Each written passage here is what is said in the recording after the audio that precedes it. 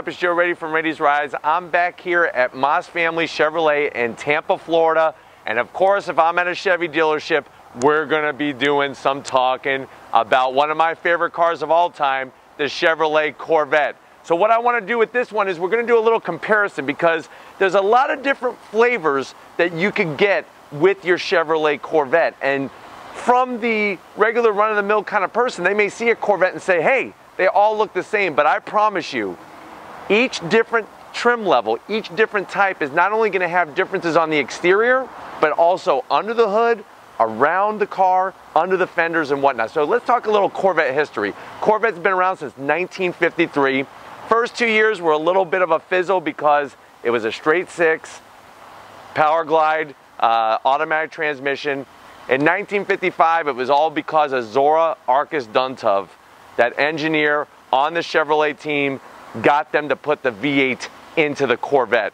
From there on, it was nothing but V8s. Now, of course, we know as we went from the 50s into the 60s and that muscle car heyday, power and cubic inches of engines were just out of control. Then into the 70s, EPA crackdown, all about emissions and the environment. We needed to try to make the cars cleaner. And with that, they robbed the cars of the horsepower that they rightfully deserved from the beginning. 1980s, technology started to come in with electronic fuel injection, and we start to see horsepower slowly start to creep back up. 1990, the ZR1, 375 horsepower. I remember being in eighth grade in 1990, and that was huge. 375 horsepower was huge. As we progress, horsepower increases, overall, whether it's a ZR1, a standard Corvette and whatnot. And today, when you look at your top choices in the C7, we're in the seventh generation of the Corvette that goes from 2014 to current, you have some choices. You have your Stingray, which is right behind me to my right here. You have your Grand Sport, which is right here on my left. You're gonna also have your choice of a Z06 and then the top dog, the ZR1. Let's talk a little bit about that name Stingray. Stingray first appeared on a Corvette in 1963. Grand Sport, that also appeared with a Corvette in the 1960s, 1963, because guess what? It was Zora Arkus Duntov who figured out a way behind closed doors to build a Corvette that was more than capable of eating up 427 Cobras, and it was called the Corvette Grand Sport. Unfortunately, because of a lot of politics back in the 1960s, the big three swore to one another that there would be no big, huge companies, you know, no corporate deals in racing. So unfortunately, the Grand Sport program had a little bit of success, but not the type of success if Chevrolet was fully backing the program. Fast forward to 1996. That's when the Grand Sport name first came back to a Corvette, and it was actually a street production Corvette. It was the final year of the C4 generation, and they made a limited amount of them. They were blue with white racing stripes and those hash marks, and that really is where the excitement comes back. Now, for future generations, like the C7, it's now a trim level, an option level to get you more performance.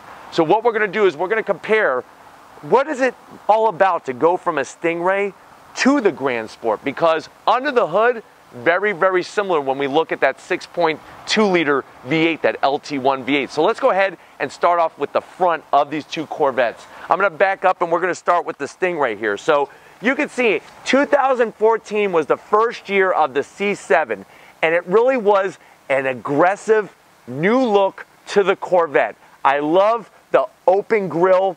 I'm not a big fan. I'm gonna zonk in the center of that grill, that chrome bar that goes across the front. I understand why they put it there. It's to tie it back to that C1 generation with some chrome on that front end of the car. But I feel like if you go with the blackout kit, it's better just to black that out. Even remember, when you look at the Corvette emblem on the front nose, you could get that blacked out as well. And with this one, it's chromed, and that kind of makes sense because chrome with the chrome. Now, one thing you'll see is how they added extra material to the front fascia down in that lower spoiler area. This is gonna help scoop air into that radiator. The great thing about Corvettes is the tradition. When you own one of these cars, you're owning part of that legend. And all Corvettes, except for, remember, wait two years, 53 and 54, all of them have V8s except for those first two years. That's what's underneath the hood. Speaking of the hood, love the body lines. I really love how aggressive it is. And I know that when they came out with the C7, a lot of people from a distance were confusing this car with a Ferrari. You have a functional, even though this is the base Stingray, you have a functional heat extractor on the hood area. That hood is gonna be clamshell style where it opens up backwards just like any other Corvette before it. And that's another style. Let's go to the front of the Z06, uh, excuse me, of the Grand Sport. The reason why I said Z06 is this car actually has the Z06 body.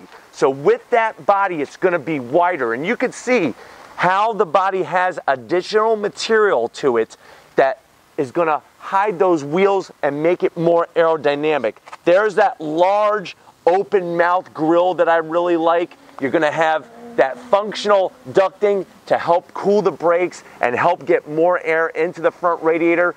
With the Grand Sport, you'll notice once we open up the hood, it has a larger uh, radiator, believe it or not, and that's gonna help increase the cooling. Now, one thing that this Grand Sport doesn't have, which I'm gonna zonk it, there needs to be that additional lower lip spoiler here. If you notice, there's a lot of real estate, which is good, but I think probably in delivery or maybe here at the dealership, maybe it got knocked off or it never got put on in the first place, but it needs to have that lower lip spoiler that goes across. That would just help with the extra aggressive look. But if you notice, most of the lines are very similar. And that's a, the wonderful thing about it is that it just has enough to separated. But one of the key ways to figure that out is right there with that extra material.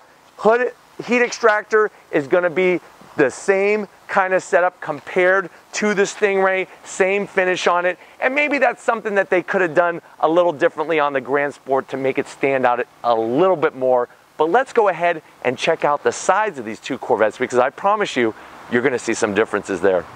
All right guys, time to check out the side of the Stingray. So like I said, this car has been produced since 2014, just the way you see it.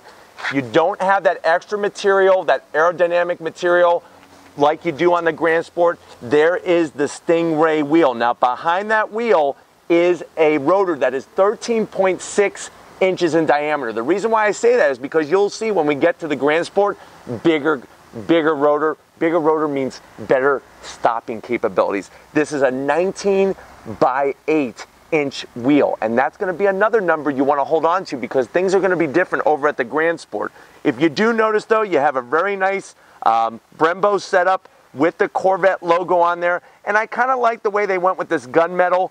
Personally, I probably would have went with the red calipers. It really would have worked wonderful with the red paint on this car. And I also like the Stingray logo on the uh, center cap cover there. Very nice touch. As we work our way down, this is a Stingray specific side vent. And that's another Corvette tradition.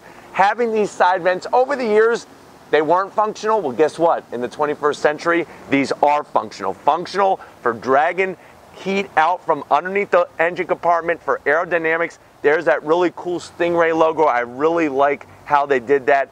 Very sleek and, and just, you know, Stingray, that shape goes back for so many generations. As we work our way back, much of this is going to be very similar to the Grand Sport with the body lines, very aggressive. And I love how everything flares out because remember, the Corvette's going to be wider at the rear. Speaking of the rear, something that's different than a, lot of the earlier generations is that there's a balance. You see this, vet, this vent here? This is for cooling the transmission. This has a transaxle. For many years now, the Corvettes had a transaxle. What that mean? What that means is engines up front, transmission is in the back. Before that, like if you go back to C4 generation, the transmission and the engine connected all at front. What's the downside? The downside is it's a lot of weight up front. With having a transaxle, it balances it out.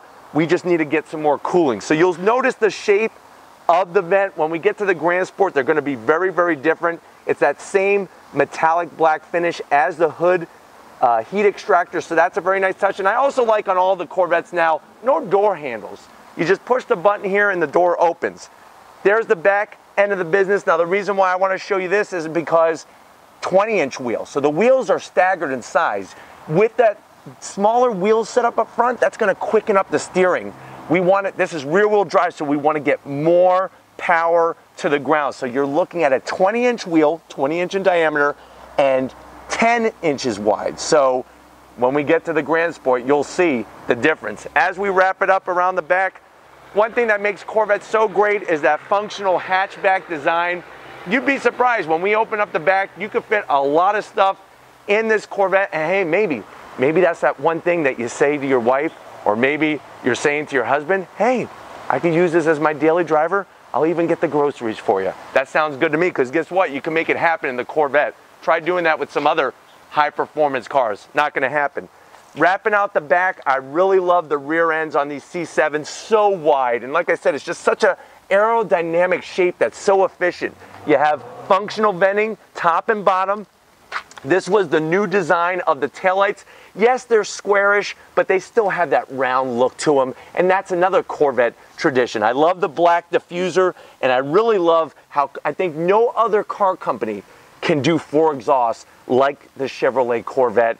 Really nicely done. There's our traditional badging with the checkered flag and the uh, Chevy flag there. That's always been like that. This one has a little center kick up, just enough. You can option this when you go higher up the trim level where you could get a larger rear spoiler on this back deck lid. But let's go ahead enough with this Stingray. Let's go check out the Grand Sport. All right, guys, time to come and check out the side of the Grand, uh, Grand Sport. So as you swing it around, you can see, like I was showing you, that extra material and then check out that wheel. So up front, we still have a 19 inch wheel, but this one is two inches wider. It's 19 by 10 inches. Those rotors, 14.5 inches in diameter. And guess what? You have that at all four corners. On the Stingray, the rear rotors are actually smaller because technically more weight when you get hard on the brakes on a racetrack is going to transfer the front. But you know what? They decided to go 14.5 all the way around. Increase six piston caliper. So we're going from a smaller caliper to a larger caliper. The caliper is what's squeezing that rotor and you'll see it's a two piece setup. Aluminum hat, slotted. That's going to help cool those brakes. Because remember, at the end of the day, these two Corvettes have the same horsepower. But what makes them really different is when you take it out on a road course or an autocross track or your favorite twisty road, what's underneath the fenders, front and rear, and this whole setup is gonna make you handle and be able to take it faster than that Stingray, which is gonna give you the faster lap times. But I really love the flat black, the red trim around uh, the, the wheel there, perfect. Here's another way to separate Grand Sport from Stingray, the side vent. And what's nice is Chevrolet puts the Grand Sport script there for you. So you don't have to go searching. This is functional. It's different from a Z06. Z06 would not have the centerpiece here. It'd be all black like that. Whereas with the Stingray, it's a much smaller vent. So larger venting, we're, we're trying to get more performance out of the car. Love the Grand Sport uh, logo. As we transition back, now this is all gonna be the same. Here are some differences. You have this large rear air duct here featured in black. That's gonna be different. That is not on the Stingray. And then when we pop up, here is your vents for the transaxle. Now, one thing you'll notice is, is that this has the additional top scoop piece that's gonna help funnel that air in. One way to tell this separate from a Z06 and this Grand Sport is this would be black on a, on a Z06 on a Grand Sport is painted. And to be honest with you, I like the painted one better than on the Z06. Let's talk about the rear. Like I said, we're not focusing on the front because you would maybe think that with the size of those rotors. 14.5 inch rotor. Now they go with a four piston caliper on the rear. These wheels are 20 by 12, 20 inches in diameter, 12 inches wide. So your contact patch is now wider. More rubber you could put down, better grip, better grip, the faster you're gonna go. Real simple. Zora Duntov believed in all that. You can see how with this package, there's that larger rear uh, deck lid spoiler that, that you have. I like the way it's finished in that nice metallic black. And then to wrap it off, here is the tail end of the business for the Grand Sport. So functional venting, just like before, you can see the difference along the bottom, but very, very nice. I just personally would have gone with black on the Corvette script and on the cross flag. So I'm not gonna zonk that because some people like the chrome, but let's go ahead and check out underneath the hoods of these two Corvettes. All right guys, so we got the traditional hoods, that backward style hood open on both of these Corvettes. We're just gonna focus on the Grand Sport because for the most part, very, very similar, but there is one major difference. So that is our LT1 engine. When you go Grand Sport or you go with the Z51 performance package on the Stingray, you're looking at 460 horsepower from that 6.2 liter V8, 465 foot-pounds of torque. If you're wondering, well, what does this Grand Sport weigh? It weighs around 3,420 pounds. The standard Stingray is a little lighter because the body isn't as wide. That one's 3,398 pounds. Now here is the interesting fact about the Grand Sport in particular. It has a dry sump oil system. If you've never heard of that, what that basically is, is that normally on an engine, all the oil is held in that oil pan.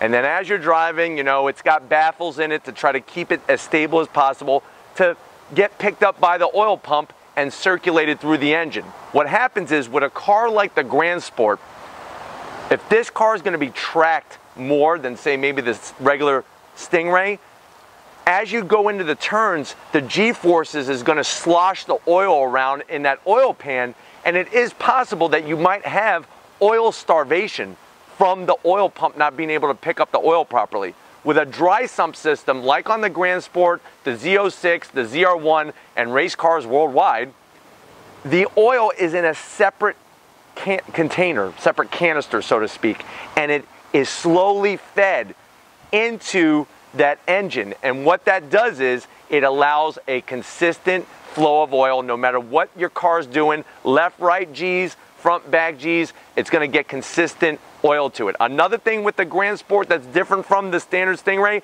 is you have an electronic LSD. No, we're not talking about some type of new 21st century hallucinogen. We're talking about a limited slip differential. That's gonna help transmit power down to the ground as you come out of that turn and you roll on throttle. It's gonna help get you off the corner because it might look cool to swing out the back and blow up a bunch of smoke off the back end of the car from spinning the tires, but guess what? You're not going in the most important direction, and that's forward. Speaking of these two, let's go ahead and fire them up.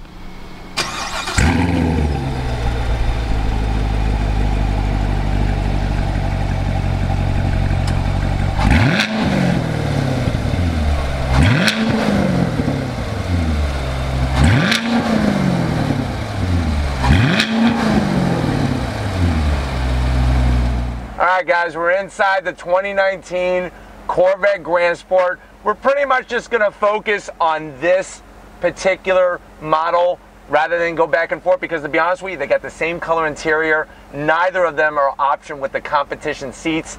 Let's go ahead and focus though on the door panel. So one thing you'll notice with Corvettes overall is that the trim levels have gotten much nicer. There's a much more upscale feel to the car and really has tied it into a whole package. There once was upon a time, not so long ago, where the interiors in Corvettes were kind of bland, to be honest with you. Didn't match the outside looks or the performance. But in here, it's right up par with any of the exotics. You have nice soft touch material. I like the way when the door's shut, it comes in and flows in very nicely. You have a nice oh crap handle for the passenger as you're taking this around your favorite race course and giving them a heart attack. Really like that. Another thing that I think is cool is let's go back and I want to show you on the air vent, it actually has the temperature control for the passenger over here. So they don't have to come into your space. That's their space. That's all they get.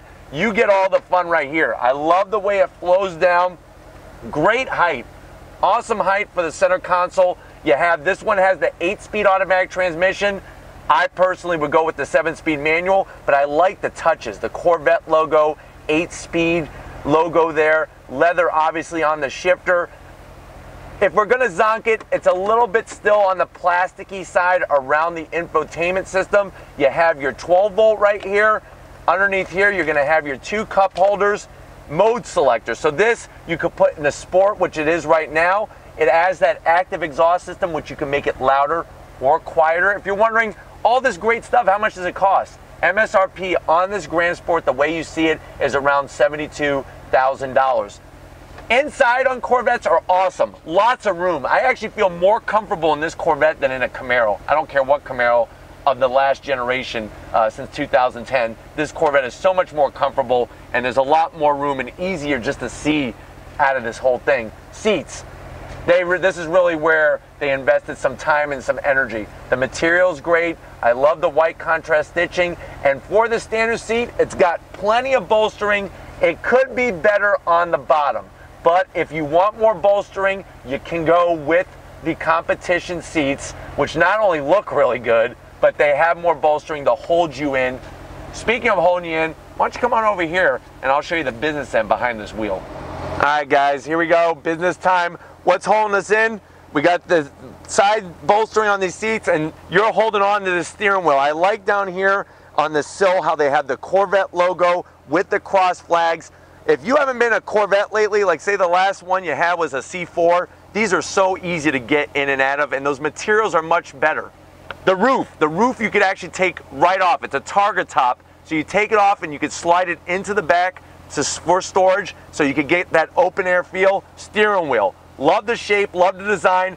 I wish they would have went a little bit more for the Grand Sport. How about put the Grand Sport logo here? That would have been a nice touch. Um, and this kind of feels a little plasticky, so maybe some carbon fiber just to spruce it up. I love the dash setup on these Corvettes. You have an analog speedometer, and then you have an analog fuel gauge and temperature gauge, and then the center, you have your digital tech and whatnot. And what's really wonderful is that as you go into your different modes, it actually will show you right at the bottom there. So you go into tour and you select that, it shows you exactly eco mode. One thing that's awesome about the Corvettes is that you don't have to pay gas guzzler tax on this Grand Sport. Gas guzzler tax is a um, government tax that is put on cars that don't get the greatest of fuel economy. And obviously a lot of performance cars, it's more about the go rather than the MPGs. The Chevrolet engineers, this thing gets actually pretty good gas mileage in the city, depending on your right foot, around 16 miles to the gallon. And that's not too shabby. Overall, I love the seating position. AC controls work great. Let me show you this. How many of you are James Bond fans here? And I've showed this before, but I'm gonna show it again because it's really cool. On the infotainment uh, screen area, you hit this screen button and it actually drops down. You have a USB jack in there and you can put your cell phone, credit card, wallet, you close it up. Let's say you're gonna valet your Grand Sport, which first of all, if you're gonna do that, I think you're nuts. But let's say you're gonna valet or let your friend drive it or something. Well, if they're your friend, they're probably not gonna rob you, but Maybe they will. Maybe they'll rob your girl. I don't know. But anyways, you could actually lock that up. It's a different key number that you enter into the touchscreen. Dual climate control. They did put a Grand Sport logo down here, but the placement of it is terrible. I mean, Tom is having a hard enough time being able to get it. They should have took this logo and put it across the bottom here. Let's go ahead and pop the back so we can see just how usable this Corvette is for everyday business. All right, guys time to check out what can we fit in a Corvette. So you pop the back, the hatch lifts up, and that's something that just separates the Corvette from all the competition is just the amount of sheer space in the back of the car. Like I was telling you, you could use this as a daily driver, so easy. If you're wondering what are these things on each side and then also at the back, you're actually gonna be able to lock in that targa top. That's gonna make sure that as you're enjoying that uh, breeze, the top isn't going to be sliding around in the back of the car, which is very, very smart. But these are the things that make this car really stand out. Not just the performance, not just the looks, not just the heritage, but the usability. But like every other review, let's go ahead and wrap this one up. All right, guys, been a wonderful day here at Moss Family Chevrolet. Definitely got to give a huge thank you and a shout out to Ricky and everybody here at the dealership. Not only getting two Corvettes together, but also both finished in red, Stingray and Grand Sport. If these are the types of comparisons that you like to see on Raiti's Rides, leave a comment in that comment section. If you are new to the channel and you're on your way out, hit that subscribe button. I promise you it's worthwhile coming back for more. If you are a subscriber, thank you. Thank you for being part of the Raiti's Rides family. Check out all my different forms of social media. You know what they're called. You want yourself some Raiti's Rides merch? Click that link in the description, takes you right to the Spreadshirt. Obviously, we need to thank Big Guns McGee, Tom Moschner, out here working the camera, getting ready for his next, next powerlifting competition. So thank you, Tom, for all that you do. And just like always, guys, I'll see you on the next ride.